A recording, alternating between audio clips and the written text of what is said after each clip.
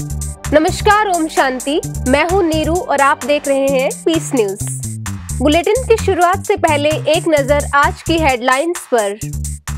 मुख्यालय में युवाओं के लिए स्पिरिचुअल यूथ पार्लियामेंट सम्मेलन। संस्था प्रमुख राजयोगिनी दादी रतन मोहिनी जी ने किया शुभारंभ। टेलीविज़न अभिनेता अभिनंदन जिंदल ने सुनाए अपने जीवन पलटाने वाले अनुभव। ब्रह्मा कुमारी संस्थान के चिकित्सा प्रभाग के उपाध्यक्ष B K doctor Pratap Midda जी को पेरिस में मिला भारत गौरव अवार्ड का सम्मान। पानीपत में संस्थान की अतिरिक्त मुख्य प्रशासिका बी के जयंती दीदी ने किया दादी जान की पॉजिटिव हेल्थ केयर सेंटर का उद्घाटन। इसके अलावा नवनिर्मित सुखधाम भवन का भी किया शुभारंभ।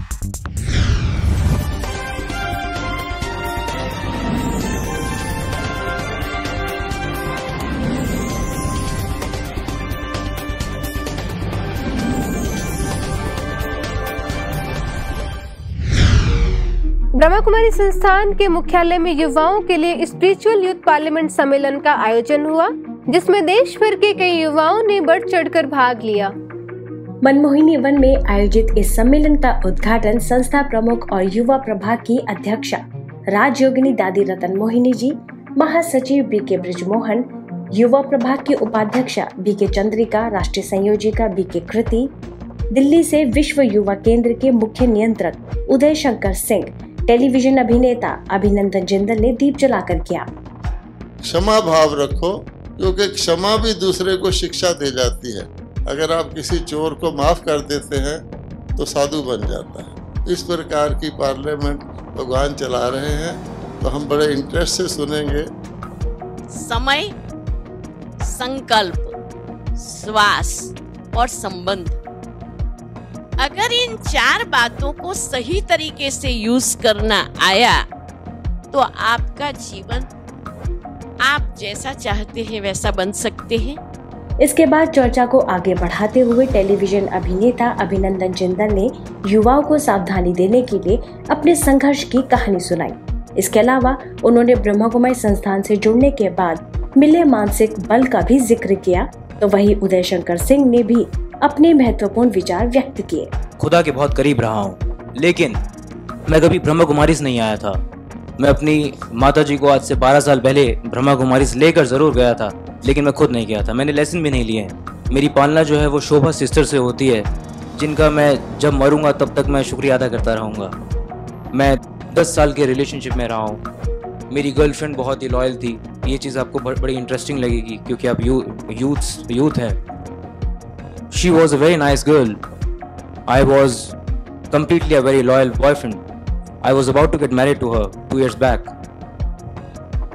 हमारा ब्रेकअप हो गया किसी वजह से मैं जब पाँच महीने यहाँ पे आया था तो पाँच महीने पहले जब यहाँ पे आया था तो इस उम्मीद से आया था कि मैं बाबा के पास आया हूँ तो मेरी ये चीज़ ज़रूर मुझे कुछ ना कुछ शायद रास्ता मिलेगा ताकि वो मान जाए, है ना मैं शायद थिंग्स गेट बेटर ऐसा नहीं हुआ और आज उसका बर्थडे है। ये एक कोइंसिडेंस की बात है लेकिन आज मेरे दिलो दिमाग में वो नहीं है। ये मुझमें एक बदलाव आया है। विश्वविद्यालय कई होंगे लेकिन ईश्वरीय विश्वविद्यालय केवल पूरे इस भूलोक में केवल एक ही है। आप इसमें जो आज आए हैं आप अपने आप को गौरवान्वित समझिएगा। फ्रांस की राजधानी पेरिस में प्रमुख कुमारी संस्थान के मेडिकल विंग के vice president B K doctor Pratap Middha को भारत गौरव अवार्ड से सम्मानित किया गया।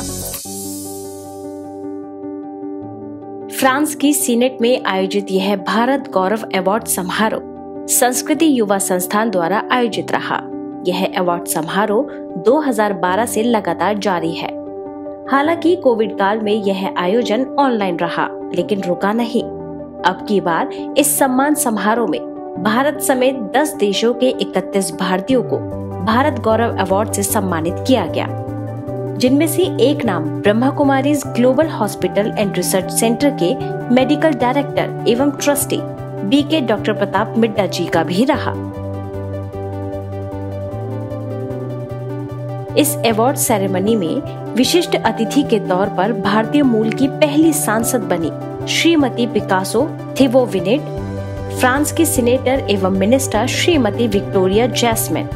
France में भारतीय दूतावास की मंत्री श्रीमती शीला दत्ता कुमार, संस्कृति युवा संस्था के इंटरनेशनल अध्यक्ष पंडित सुरेश मिश्रा, मशहूर फ़िल्म निर्माता मधुर भंडारकर समेत कई दिग्गज हस्तियाँ मौजूद रहे।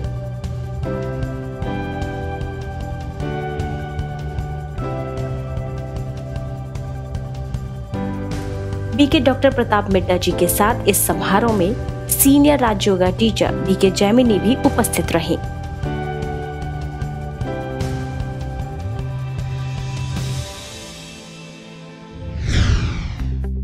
ब्रह्म संस्थान की अतिरिक्त मुख्य प्रशासिका राजयोगिनी जयंती दीदी हरियाणा के पानीपत दादी जान की पॉजिटिव हेल्थ केयर सेंटर का उद्घाटन करने पहुँची। दादी जान की पॉजिटिव हेल्थ केयर सेंटर ज्ञान मानसरोवर के परिसर में बना हुआ है, जिसके उद्घाटन अवसर पर बीके जयंती दीदी, सांसद किशन लाल पवार, पंजाब जोन प्रभारी बीके प्रेमलता दीदी, पानीपत सर्कल प्रभारी बीके सरला दीदी, ज्ञान मानसरोवर के निदेशक बीके भारत भूषण मधुबन से वरिष्ठ राज्य शिक्षिका बीके हंसा दीदी और कवि बीके विवेक भाई मुख्य तौर पर उपस्थित रहे। इस मौके पर एक भव्य पब्लिक प्रोग्राम का आयोजन हुआ, जिसमें किशन लाल पवार ने देश की नई राष्ट्रपति महामहिम द्रौपदी मुर्मू जी का ज़िक्र करते हुए कहा कि माननीय द्रौपदी मुर्मू जी अपने सबसे मुश्किल दौर में ब्रह्म कुमारी के संपर्क में आई थी और आज वो देश के सबसे उच्च पद पर आसीन है। हमें उनसे प्रेरणा लेनी चाहिए। देश की हमारी राष्ट्रपति द्रौपदी मुर्मू जो बने हैं, उसकी हिस्ट्री आप पढ़ेंगे तो हम सबको उनसे प्रेरणा मिलेगी। इतने डिप्रेशन में जाने के बाद आश्रम में गई, वहाँ जाकर उनके मन को शांति मिली। कार्यक्रम को आगे बढ़ाते हुए बीके जयंती दीदी ने दादी जान की पॉजिटिव हेल्थ केयर सेंटर के खुलने की बधाई देते हुए सदा पॉजिटिव संकल्प द्वारा तनाव मुक्त और स्वस्थ रहने का मंत्र दिया। तो वही बीके प्रेमलता दीदी, बीके सरला दीदी और बीके भारत भूषण ने भी अपनी अपनी शुभकामनाएँ व्यक्त की। इस हेल्थ केयर सेंटर में एक बाबा का कमरा अथवा मेडिटेशन का भी कमरा बनाया गया है। और वहाँ पर भी थोड़ा समय भी बैठने से बहुत ही आत्मा को एक नई जान, एक नई प्रेरणा एक शक्ति का अनुभव हो सकता। क्यों? क्योंकि जब आत्मा शक्तिशाली है तो कुछ भी कार्य स्थूल रीति से सहज हो जाता। ओ प्यारे भोलानाथ शिव साजन, हम तेरे घर में आए हैं और दुनिया में तुम्हारा नाम रोशन करके जाएँगे। रोशन करके जाएँगे। प्यारे हमारे शिव बाबा जिन्होंने ये जग रचा जिन्होंने इस जग के अंदर हम सबकी आहुति ले रहे हैं। दादी हमेशा के उनका परिचय देते थे मैं केयर करती हूँ इंस्पायर करती हूँ और सबको अच्छी तरह उमंग उत्साह भरती हूँ तो उनका पार्ट भी ये था तो Dadi Janki positive health care centre ये नाम निर्वैर भाई ने दिया। इस कार्यक्रम से एक दिन पूर्व, पानीपत के ओल्ड हाउसिंग बोर्ड कॉलोनी में नवनिर्मित सुखदाम भवन का उद्घाटन बी के प्रेमलता दीदी बी के सरला दीदी बी के भारत भूषण भाई और बी के रानी दीदी की उपस्थिति में बीके जयंती जी के कमल हस्तों से हुआ।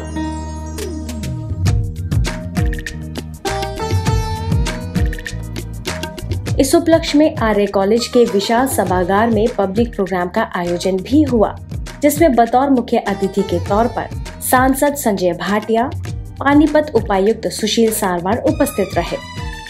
और सेवा केंद्र द्वारा ईश्वरीय सेवाओं के विस्तार के लिए ओल्ड हाउसिंग बोर्ड सेवा केंद्र प्रभारी बीके कविता दीदी को अपनी शुभकामनाएँ दी।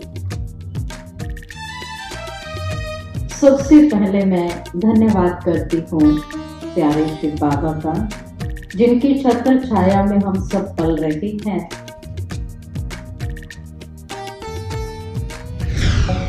कल्प प्रोजेक्ट के तहत पूरे देश में कार्यक्रमों का आयोजन लगातार जारी है। जिनमें से पहली खबर दिखाते हैं आपको छत्तीसगढ़ के अंबिकापुर की।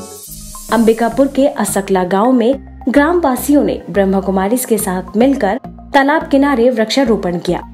सरगुजा संभाग के प्रभारी बीके विद्या दीदी के मार्गदर्शन में आयोजित इस कार्यक्रम में मुख्य वन संरक्षक जगदीश चंद्राकर, उद्यान विभाग ग्राम सेवक संतोष कुमार सिंह अस्कला गाँव सरपंच गौरी सिंह मुख्य तौर पर उपस्थित रहे। इस दौरान वृक्षारोपण के साथ सभी ने राज्यों के अभ्यास द्वारा शांति के प्रकंपन भी फैलाए।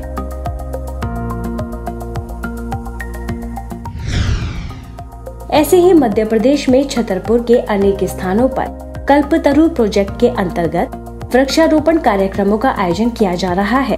इसी को देखते हुए वृक्ष मित्र डॉक्टर राकेश अग्रवाल जी ने ब्रह्मा कुमारी बहनों को 2000 पौधे निशुल्क देकर इस पुनित कार्य में अपना सहयोग दिया। छतरपुर सेवा केंद्र प्रभारी बी के शैलजा दीदी की प्रेरणा से पूरे छतरपुर के प्रत्येक बी के सदस्य ने कम से कम एक पौधा लगाने और उसकी देखभाल करने का संकल्प लिया है। इसी के चलते प्रभात ज्वेलर्स के हर्षित अग्रवाल, व्यापारी संतोष अग्रवाल, डॉक्टर कपिल खुराना, डॉक्टर निधि खुराना ने भी वृक्षारोपण किया। अभियान का मेन उद्देश्य यही है कि जिस तरीके से आम का पेड़ एक नम्रता के भाव का प्रतीक है, इसी तरीके से हमें जीवन भर विनम्र और नम्र रहना है। ऐसे ही छतरपुर में विश्वनाथ कॉलोनी द्वारा वृक्षारोपण कार्यक्रम में सेवा केंद्र प्रभारी बी के रमा ने सभी को पौधा लगाने के साथ साथ अपने अंदर किसी एक गुण का बीजारोपण करने का संदेश दिया। इस कार्यक्रम की एक खास बात और रही। कि किन्नर समाज के कई सदस्यों ने भी इसमें भाग लिया और पौधे लगाए।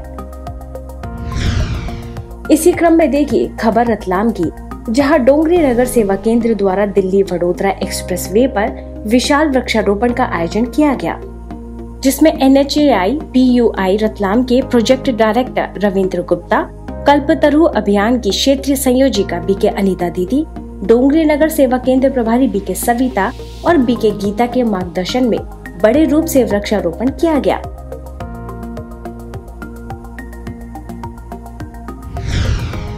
ऐसे ही दिल्ली के अमन विहार सेवा केंद्र द्वारा पब्लिक पार्क में कार्यक्रम का आयोजन किया गया, जिसमें अमन विहार थाना प्रभारी अतिथि के रूप में शामिल हुए। सेवा केंद्र प्रभारी बी के पूनम ने इस दौरान कल्पतरु प्रोजेक्ट की जानकारी देते हुए प्रकृति के संरक्षण के प्रति सजग रहने के लिए प्रतिज्ञा कराई। इसके बाद सभी ने मिलकर पार्क में वृक्षारोपण भी किया। हम कम से कम बीमार हो तो हमें क्या करना पड़ेगा? सेवाएँ करनी दिल्ली के बाद देखिए वेस्ट बंगाल के बुर्दवन की खबर। जहाँ साधनापुर सेवा केंद्र पर आयोजित कार्यक्रम में ट्रैफ़िक पुलिस के डीएसपी अतनु बनर्जी बुर्दवन जिला परिषद के सभापति सनत नंदी और व्यापारी पलास नंदी मुख्य अतिथि के रूप में शामिल हुए। सेवा केंद्र प्रभारी बी के रूमा ने कार्यक्रम में सभी को सर्वप्रथम कल्पतरु प्रोजेक्ट की जानकारी देते हुए 400 लोगों को पौधे वितरण किए। इसके अलावा बी के रूमा ने कार्यक्रम में उपस्थित जिला न्यायाधीश प्रियंका सिंघला को प्रोजेक्ट की जानकारी देते हुए ईश्वरी सौगात भेंट की।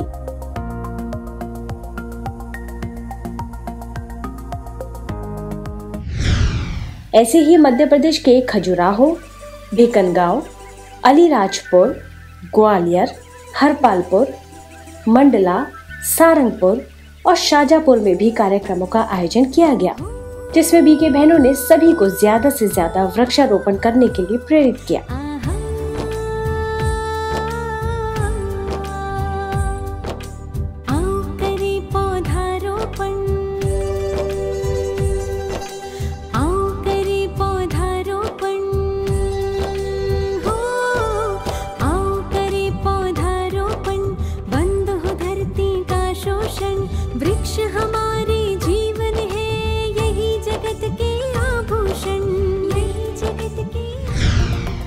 तो थी मध्य प्रदेश में आयोजित कार्यक्रमों की कुछ झलकियाँ।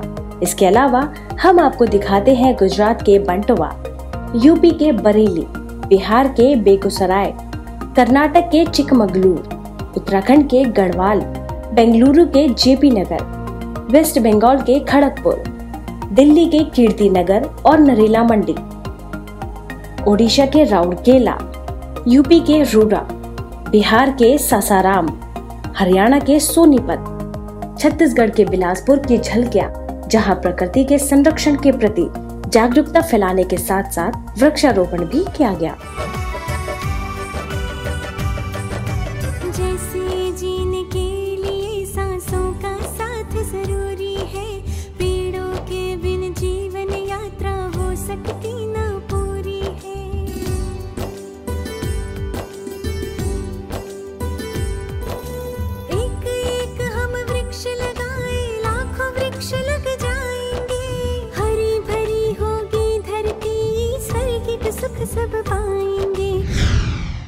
बुलेटिन में बस इतना ही। फिर मिलते हैं नई खबरों के साथ। ओम शांति।